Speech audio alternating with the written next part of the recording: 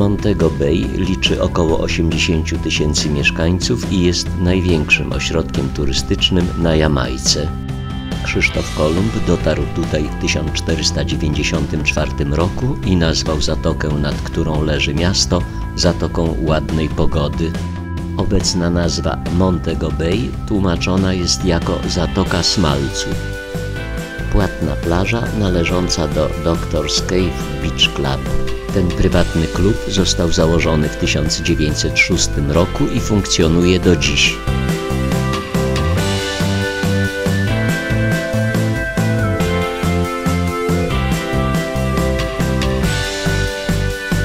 Równowaga, rzeźba z brązu upamiętniająca stulecie założenia klubu. Szeroka plaża ma około 200 metrów długości i jest jedną z najbardziej znanych plaż Jamajki.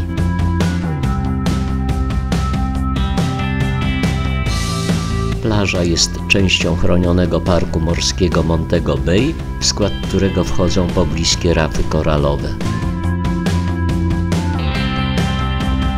Montego Bay jest czwartym co do wielkości miastem Jamajki po Kingston, Spanish Town i Portmore.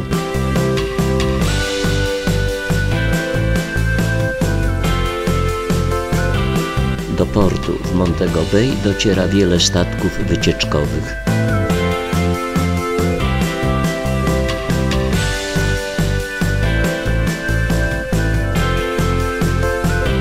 Sklepik pod gołym niebem na plaży. Tak też można prowadzić biznes. Ptakom zaabsorbowanym poszukiwaniem pożywienia zupełnie nie przeszkadza bliskie sąsiedztwo ludzi.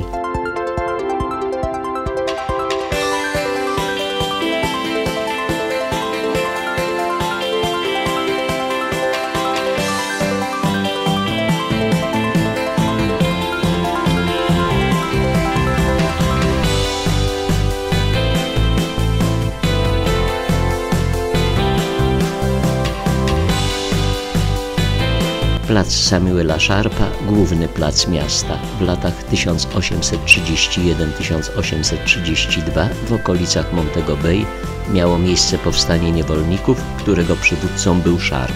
Po stłumieniu powstania Samuela Sharpa powieszono.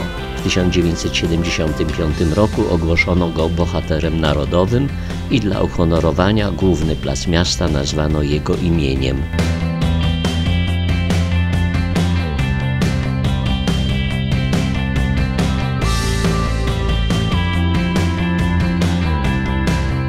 Kościół świętego Jakuba, zbudowany z wapienia w latach 1775-1782 na planie klasycznego krzyża greckiego.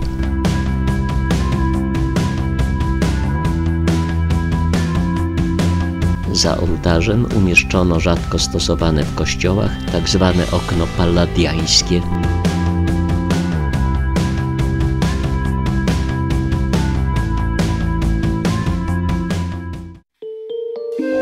Niedaleko Montego Bay znajduje się Rose Hall. Jest to dom wybudowany przez Johna Palmera w 1770 roku, nazwany imieniem jego żony Rose. Dom jest znany z opowieści o Annie Palmer, zwanej Białą Wiedźmą, która podobno zamordowała trzech mężów, a potem została uduszona przez swojego niewolnika. Uważa się, że jej duch do dziś nawiedza posiadłość. Dom został zniszczony w 1831 roku podczas powstania niewolników i pozostawał w ruinie przez ponad 100 lat. W 1966 roku został kupiony przez Johna Rollinsa i przywrócony do pierwotnego stanu. Odwiedza go około 100 tysięcy turystów rocznie. Dom jest położony na wzgórzu z pięknym widokiem na Morze Karaibskie. Bligia pospolita albo aki. W kuchni jamajskiej jej owoce są często podawane jako dodatek do solonej ryby.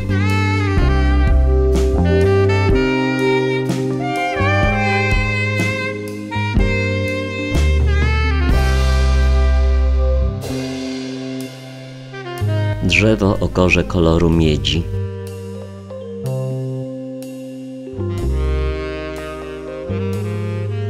Pobliżu domu jest grób uważany za miejsce pochowania Anny Palmer, czyli Białej Wiedźmy.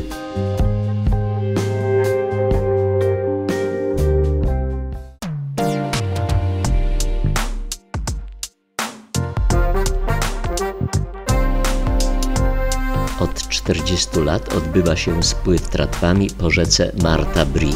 9-metrowej długości tratwy wykonane są z bambusa.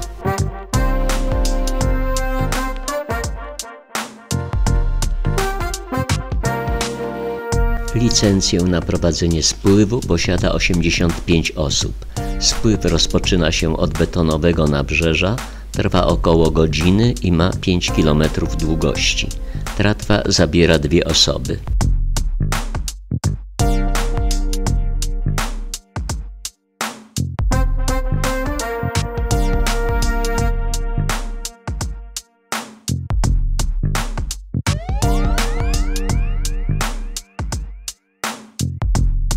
Trasa spływu prowadzi przez tropikalny las deszczowy.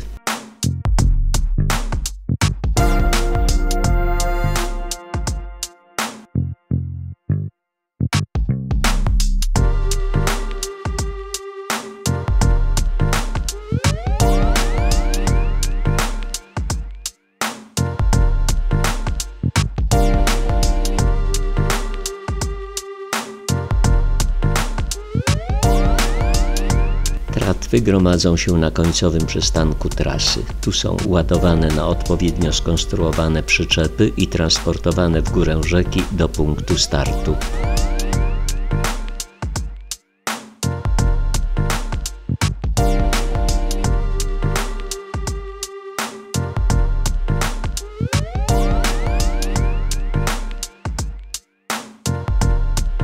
Niemal do wszystkich malowniczych zakątków Jamajki docierają ogromne statki wycieczkowe.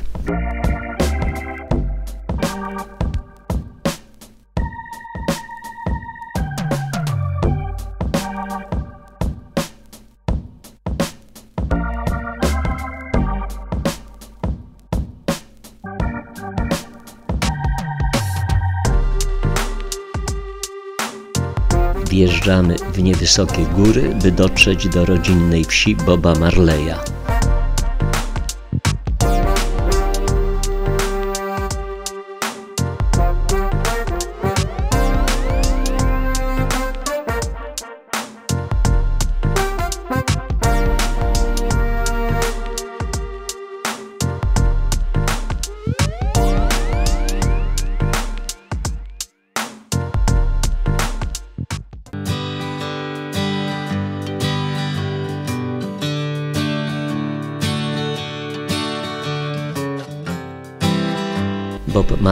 Słynny twórca muzyki reggae, urodził się w miejscowości Nine Mile w 1945 roku. Jego rodzicami byli 54-letni Norval Marley, biały Jamajczyk pochodzenia brytyjskiego i o 35 lat od niego młodsza Sedella Marley.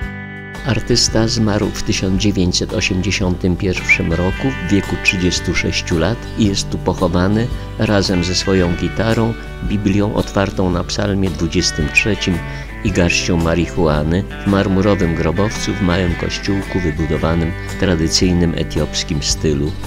Można tu wypić drink Boba Marleya przyrządzony na bazie likieru i rumu. Dzięki swej popularności Marley przyczynił się do rozpropagowania na świecie ruchu Rastafari, uprzednio niemal nieznanego poza Jamajką. Ten synkretyczny ruch łączy cechy chrześcijaństwa, afrykańskich wierzeń animistycznych oraz pokojowych nauk etiopskiego cesarza Haile Selassie I. Budynek, w którym urodził się Bob Marley, lalki wykonywane i sprzedawane przez jego matkę. Można tu posłuchać największych przebojów Marleya.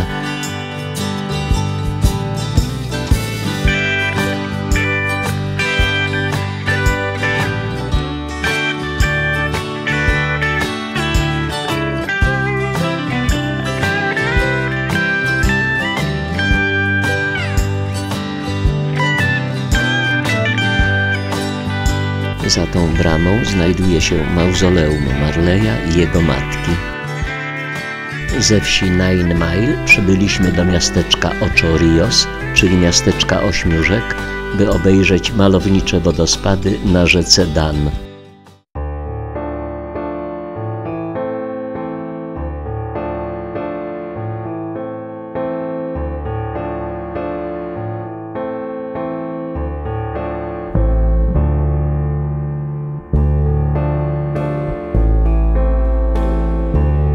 Wodospady rzeki Dan kaskadami wpadają bezpośrednio do Morza Karaibskiego.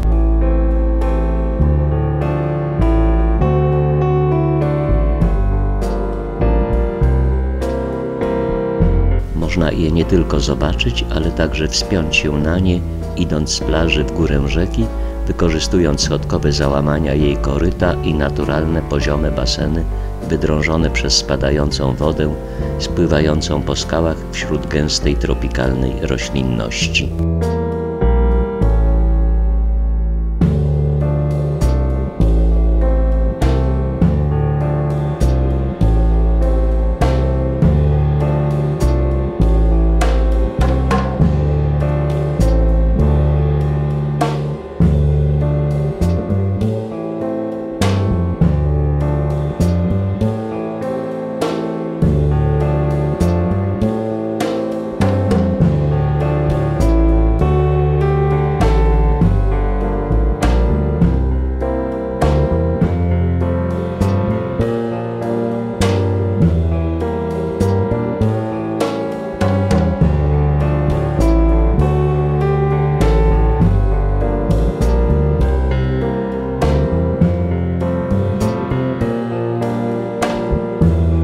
Całej długości ułożone są drewniane pomosty pozwalające podziwiać piękno wodospadów tym turystom, którzy nie są w stanie lub nie mają ochoty wspinać się na nie.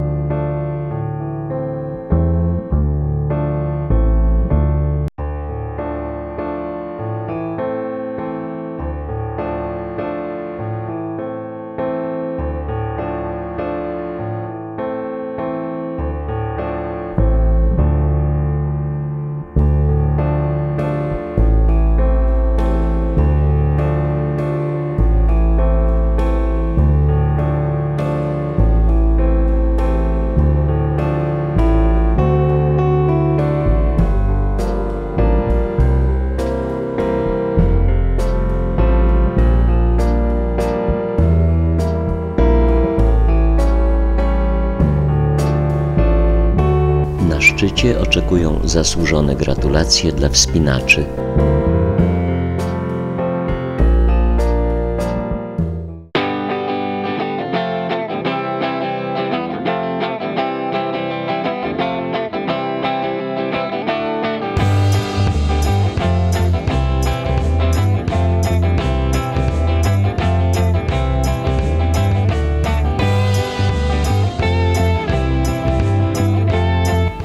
Jamajka jest wyspiarskim państwem położonym na Morzu Karaibskim na południe od Kuby. Ma niecałe 11 tysięcy kilometrów kwadratowych powierzchni i prawie 3 miliony mieszkańców. Wyspa ze wschodu na zachód ma 235 km długości i 82 km w najszerszym miejscu.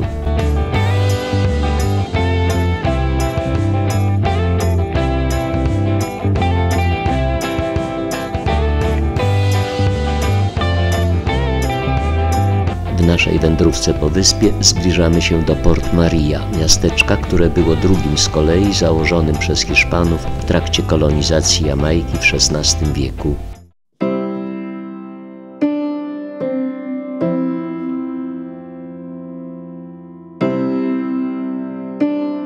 Kościół pod wezwaniem Marii Panny, zbudowany z bloków wapienia w 1861 roku.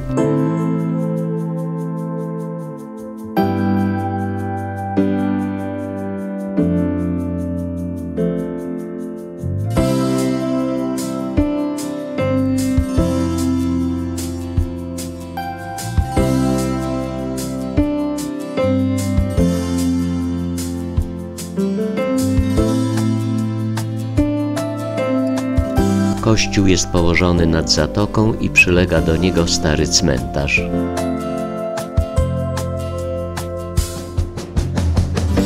Plantacja bananów.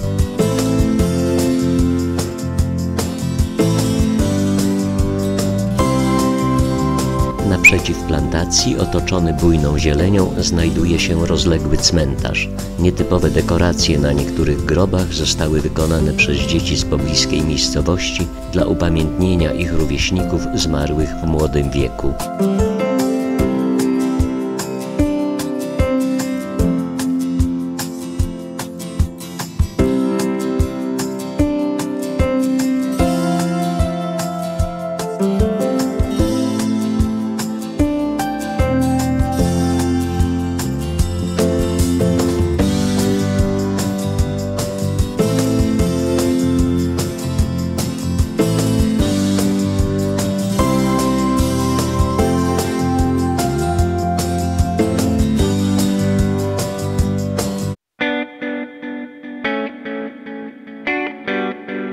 Wzniesiony w 1881 roku de Monte Vino Lodge, obecnie pensjonat. Dwukrotnie gościła tu królowa Elżbieta II.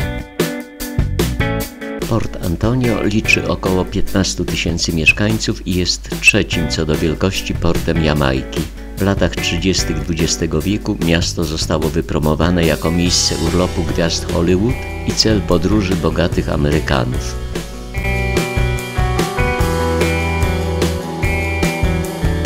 Jesteśmy w marinie Erola Flyna położonej w pobliżu centrum Port Antonio, która podobno była ulubioną przystanią sławnych i bogatych aktorów Erola Flyna, Ginger Rogers, Ben Davis i innych.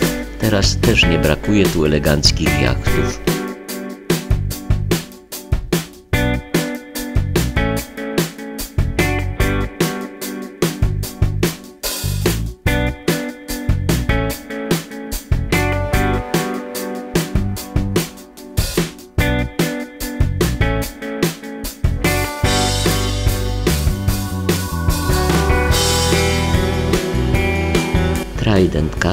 Zaprojektowany przez architekta Erla Lewiego i wybudowany w 1979 roku dla baronesy Elizabeth von Thyssen. Od 2009 roku należy do miliardera Michaela Lee Chin. Urlopy spędzają tu gwiazdy sportu, filmu i znani politycy.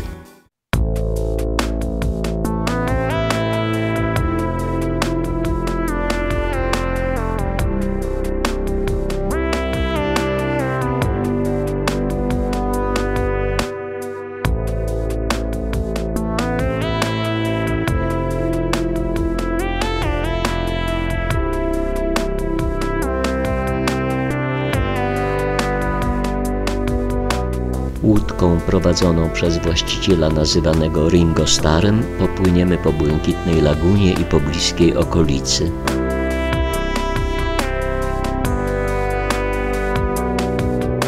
Z laguny wypływamy na zatokę, nad którą pobudowano luksusowe rezydencje.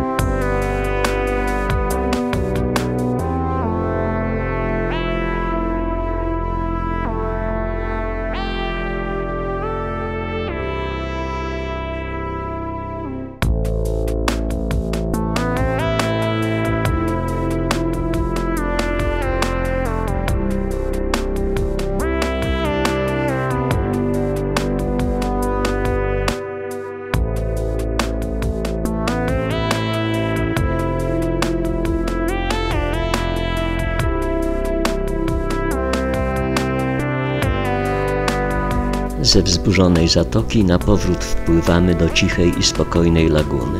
W 1980 roku kręcono tu fragmenty filmu Błękitna Laguna, opowiadającego historię miłości dwojga młodych ludzi żyjących na bezludnej wyspie. Film przyczynił się do spopularyzowania tego pięknego zakątka, który został ustanowiony obszarem chronionym już w 1951 roku.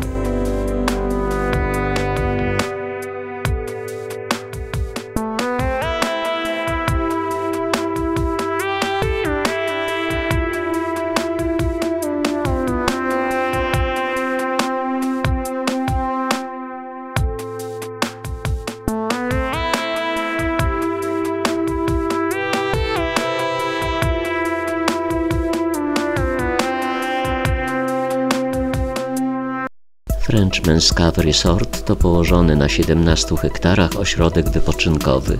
Hotel Frenchman's Cave jest uważany za pierwszy na świecie hotel, który wprowadził all inclusive.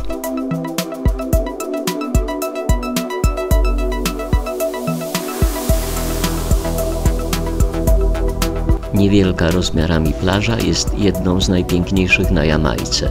Skały ograniczające z obu stron wąskie połączenie zatoczki z morzem i bujna tropikalna roślinność otaczająca cały teren nadaje temu miejscu unikalny charakter.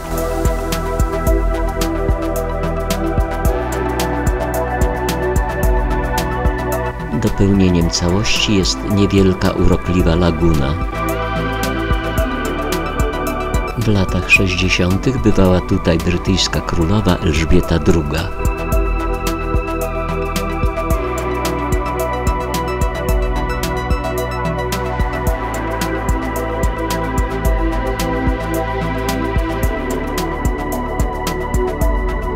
Z rodziny czaplowatych, ślepowron żółtoczelny.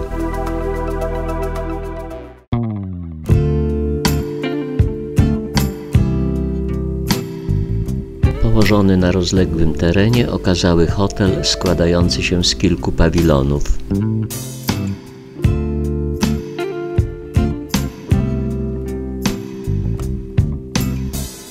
Basen o nieregularnych brzegach nawiązujących do linii brzegowej wyspy Jamajka.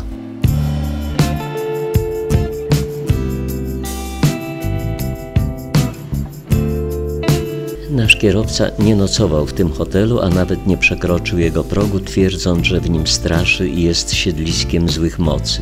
Miało to zapewne związek ze zbliżonymi do wudu religijnymi praktykami magicznymi uprawianymi przez część czarnoskórej ludności wysp Małych i Wielkich Antylii.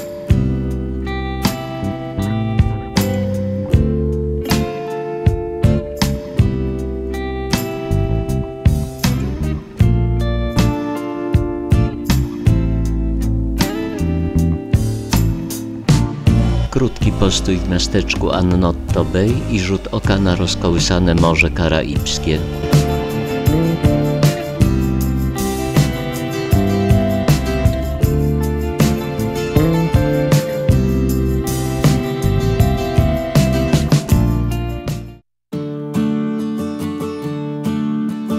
W małej wsi Castleton, niedaleko stolicy Jamajki, już w 1862 roku założono ogród botaniczny, jeden z najstarszych tego typu ogrodów na półkuli zachodniej. Zajmuje on około 10 hektarów na chłodnych, zielonych wzgórzach St. Mary.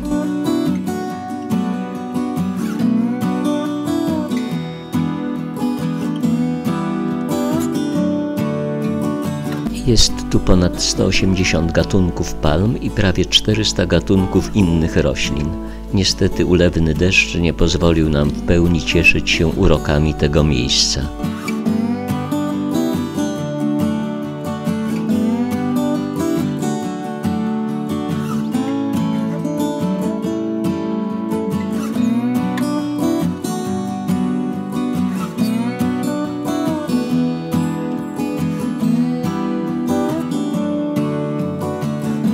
Po drugiej stronie drogi, równolegle do ogrodu, płynie rzeka Wegwater, dodając temu miejscu niewątpliwego uroku.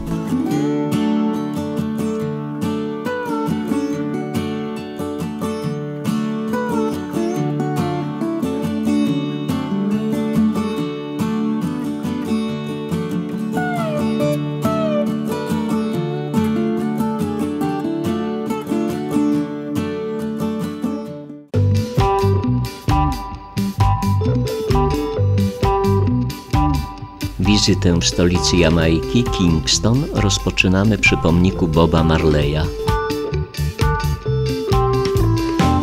Kolejny etap wizyty to dzielnica domów jednorodzinnych Beverly Hills.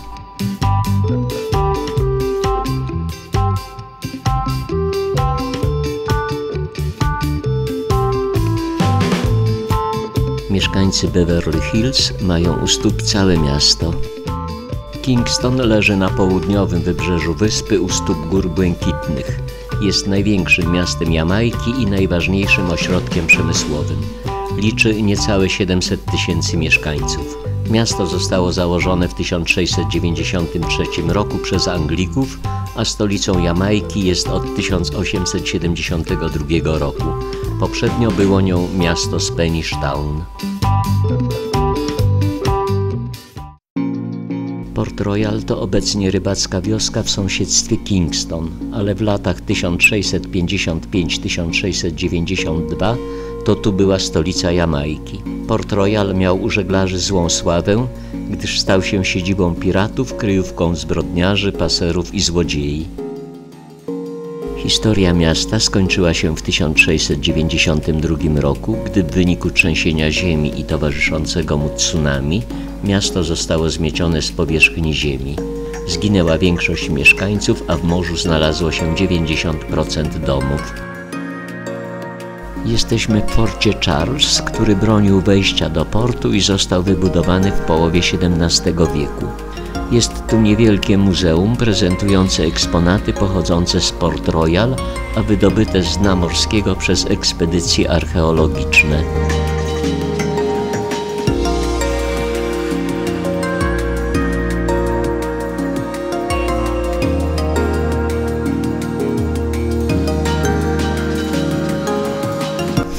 Przetrzymał dwa trzęsienia ziemi, wspomniane już w 1692 roku oraz w 1907 roku. Pamiątką po tym ostatnim trzęsieniu jest stanowiący turystyczną atrakcję Gidi House, dawny budynek artylerii królewskiej. Swą nazwę zawdzięcza dziwnemu kątowi, pod jakim pochylił się w wyniku trzęsienia ziemi.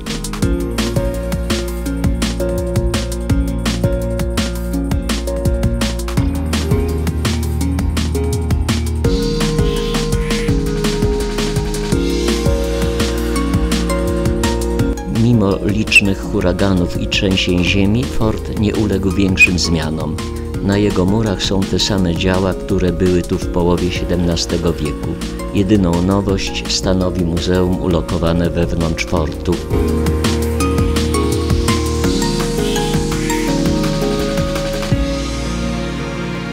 Powrót z Port Royal do Kingston daje okazję obejrzenia panoramy stolicy Jamajki z poziomu zatoki, nad którą leży miasto. Można też stąd podziwiać piękną panoramę gór błękitnych.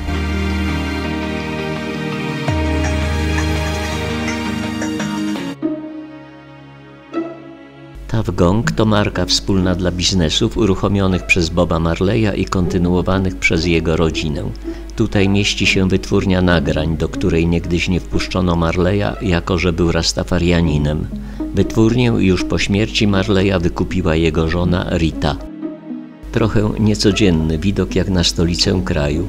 Obok studia nagrań Tav Gong International przebiega stado kus.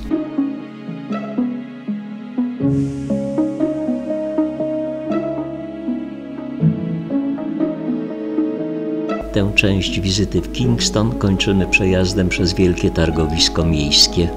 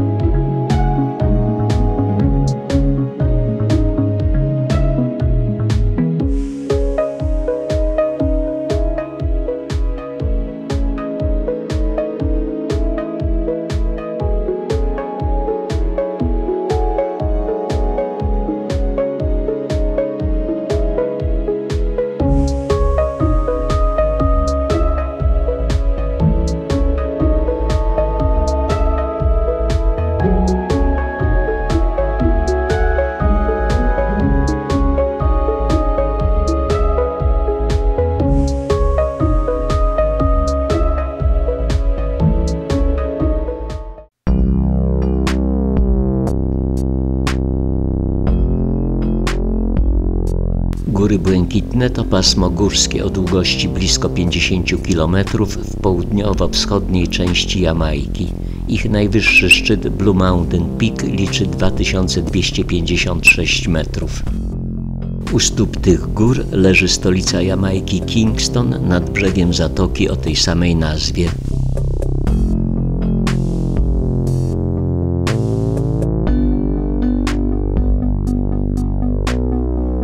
Góry Błękitne w 2015 roku zostały wpisane na listę Światowego Dziedzictwa UNESCO jako obiekt przyrodniczo-kulturowy.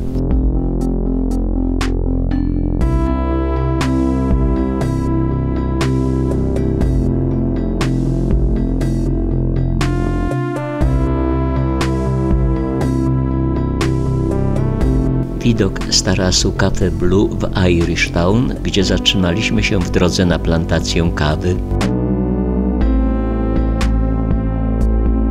W kawiarni spotykamy sympatyczną Jamajkę.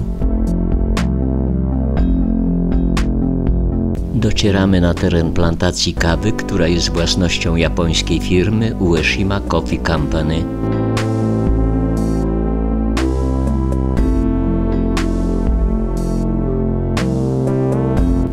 Tadao Ueshimy, założyciela japońskiej firmy.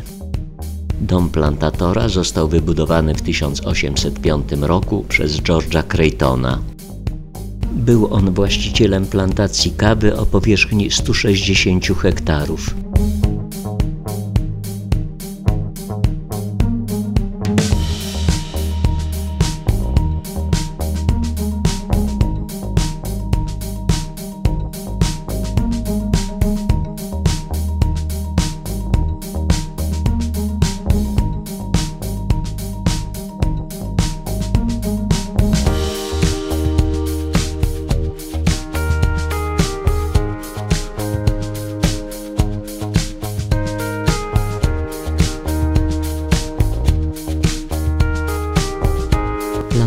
Kawy na Górskim Stoku. Najlepszą kawę w tym regionie geograficznym uzyskuje się na wysokości od 800 do 900 metrów.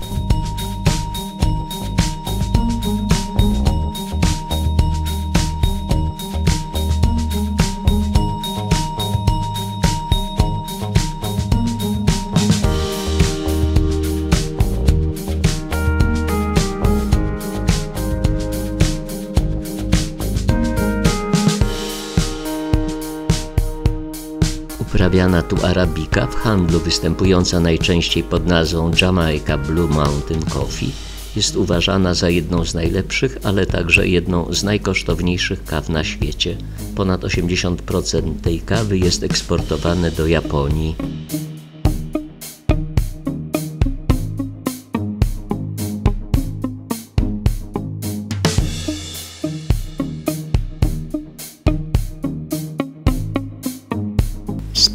Plantacji wracamy do domu plantatora, by wysłuchać prelekcji o uprawie i produkcji kawy.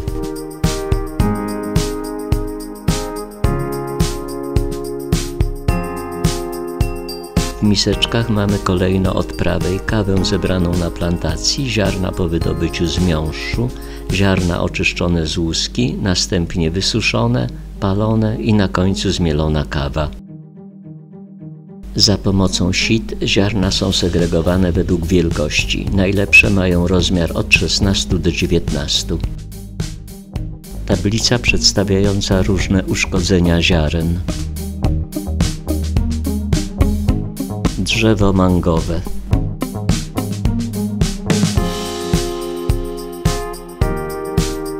Żerująca na liściach plumerii gąsienica ćmy zwanej olbrzymim szarym sfinksem.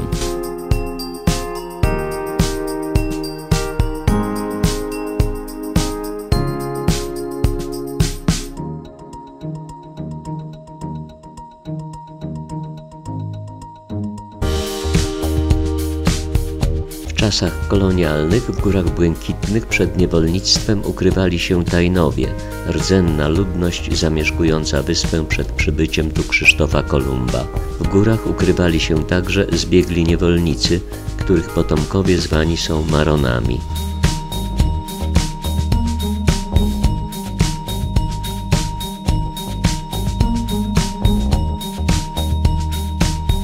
Często spotykane w górach błękitnych, paprocie drzewiaste.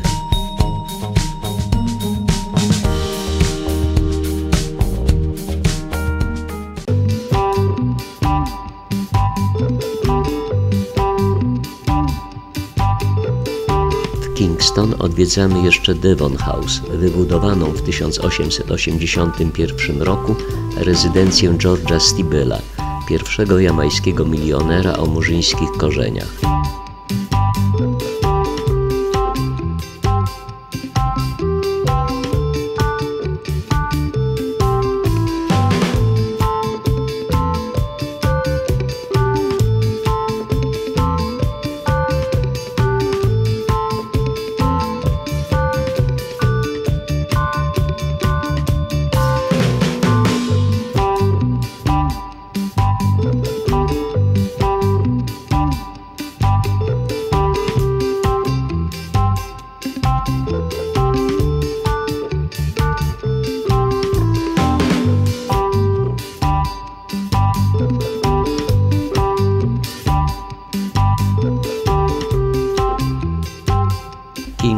Żegnamy kolacją w restauracji lekkoatletycznego biegacza Usaina Bolta, ośmiokrotnego złotego medalisty olimpijskiego na krótkich dystansach.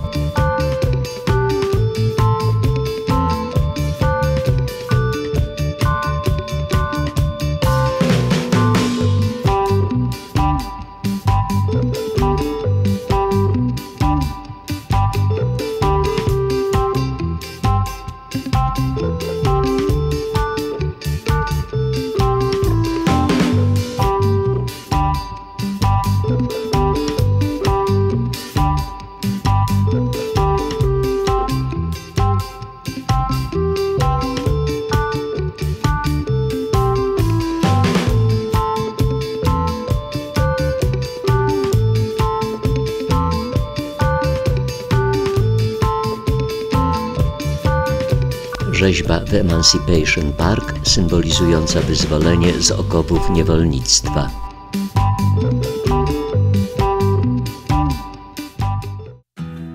Z obecnej stolicy Jamajki przenosimy się do byłej stolicy, którą Spanish Town było przez 338 lat w okresie od 1534 do 1872 roku. Żelazny most z 1801 roku łączący brzegi rzeki Rio Cobre jest najstarszym tego typu mostem na półkuli zachodniej. Wzniesiona w 1714 roku najstarsza anglikańska katedra na Karaibach została wybudowana w miejscu jednej z pierwszych hiszpańskich katedr w Nowym Świecie z 1525 roku.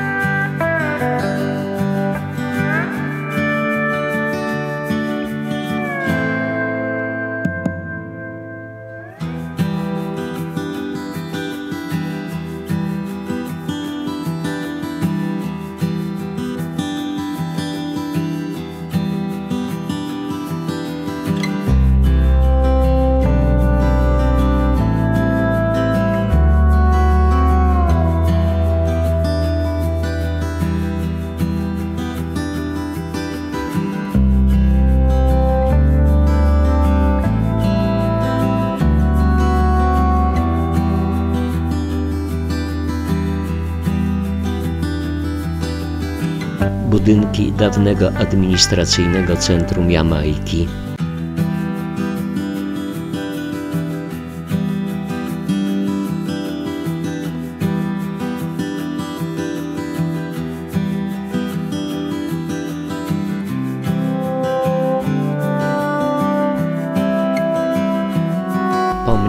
George'a Rodneya, admirała, który obronił Jamajkę przed inwazją połączonych flot Hiszpanii i Francji w 1782 roku.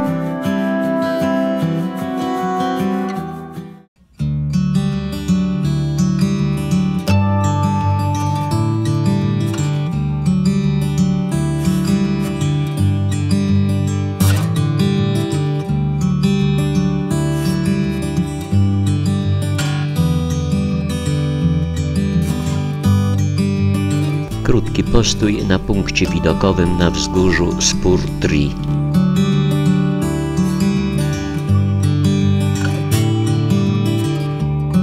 Drzewo aki, którego owoc jest zaliczany do symboli narodowych Jamajki.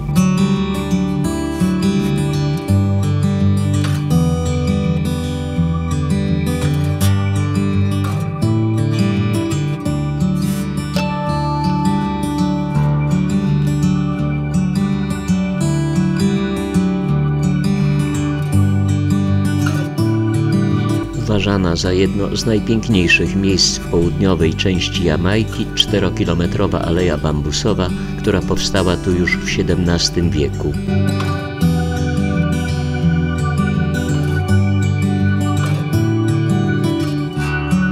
Jamajska sprzedawczyni prezentuje nam sposób przygotowania ananasa do spożycia.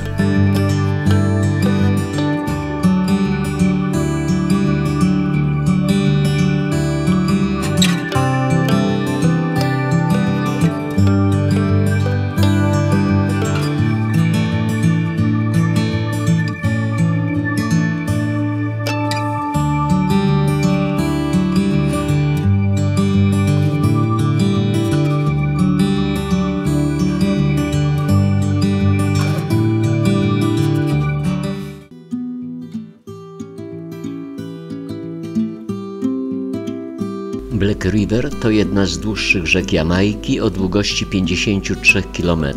Swoją nazwę zawdzięcza ciemnemu kolorowi wody. Była uważana za najdłuższą rzekę Jamajki, dopóki nie odkryto Rio Minio o długości 93 km. Na brzegach rzeki doliczono się ponad 100 gatunków ptaków.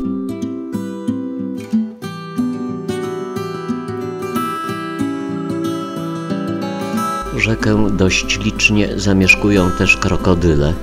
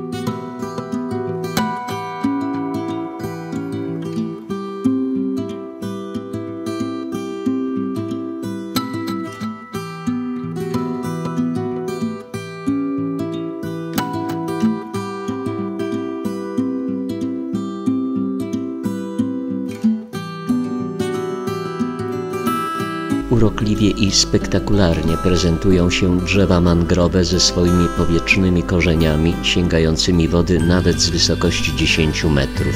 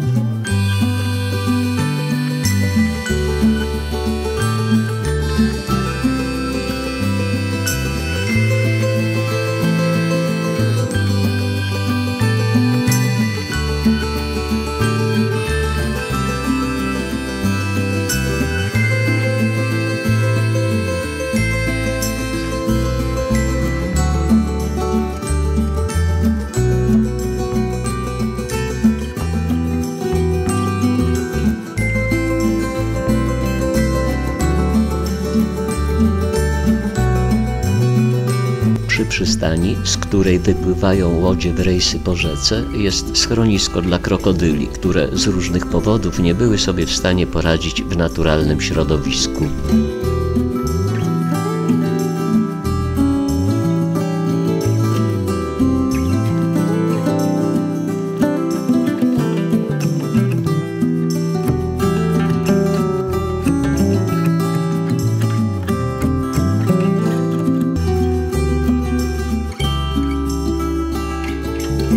Rycynowiec albo rącznik pospolity to jedna z najbardziej toksycznych roślin na świecie.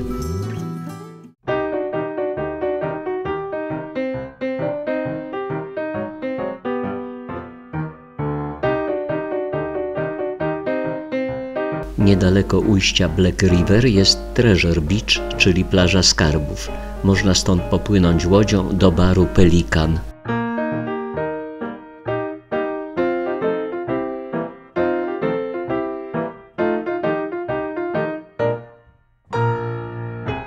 Do baru jest dostęp tylko wodą, gdyż został on zbudowany na mieliźnie daleko od brzegu.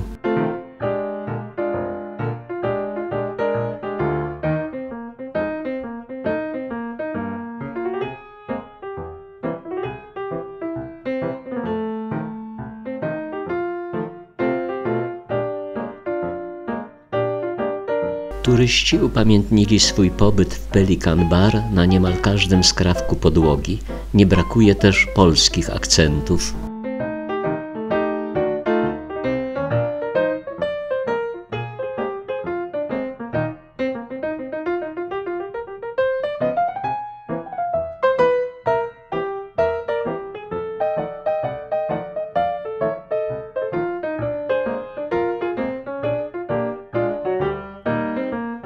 Zapada wieczór i pora umykać na brzeg, bo ciężkie ciemne chmury nie wróżą niczego dobrego.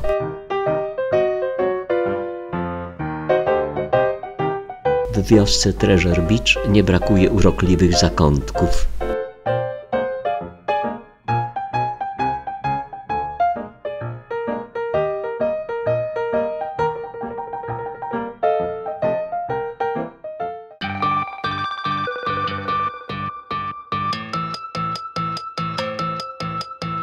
Turyści są dowożeni do wodospadów tymi oto przyczepami ciągniętymi przez traktory.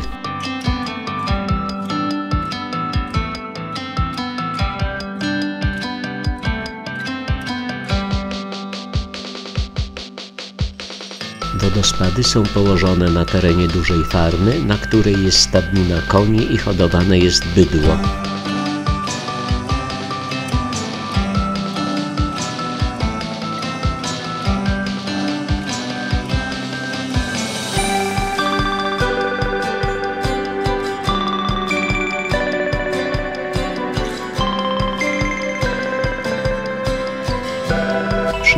Wodospadach są ładnie zagospodarowane ogrody i tereny wypoczynkowe.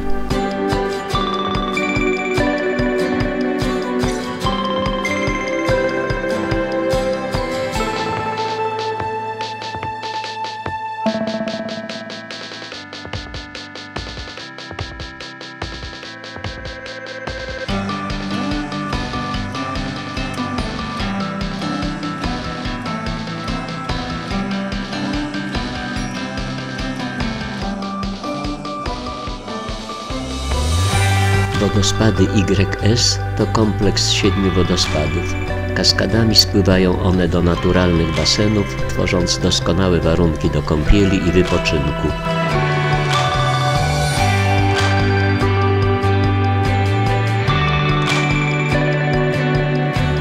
Dostęp do wodospadów jest ograniczony. Właściciele ocenili bowiem, że ze względu na ochronę środowiska i komfort wypoczynku nie powinno tu przebywać jednorazowo więcej niż 200 osób.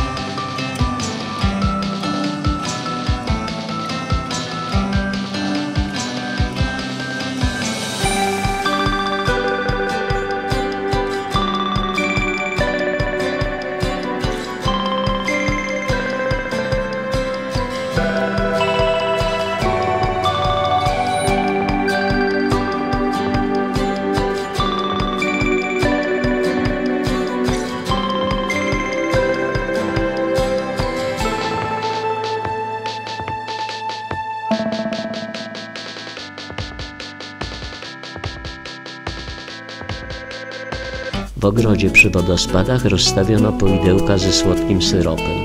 Pozwala to obserwować przylatujące do poidełek kolibry. Jednym z nich jest koliber czarnogłowy, zwany na Jamajce ptak doktor, bo jego dwa długie na 17 cm pióra ogonowe kojarzyły się mieszkańcom ze staromodnym frakiem, jaki nosili niegdyś lekarze.